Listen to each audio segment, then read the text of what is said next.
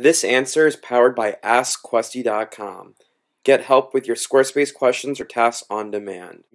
Uh, this template, this current template is Hayes. I've just modified it a little bit, but uh, no worries. So um, what should we do?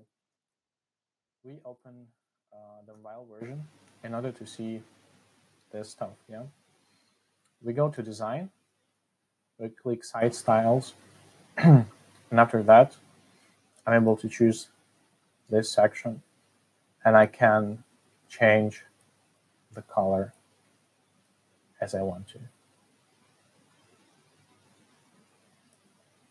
I'm also able to,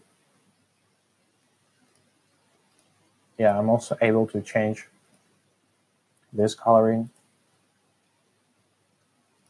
and um,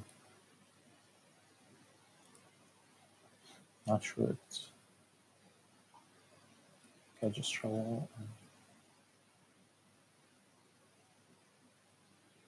yeah mobile menu so I can change everything as I want to every single stuff every single mm, instance okay um, thank you for asking us Was this helpful? Ask a Squarespace question now. AskQuesty.com.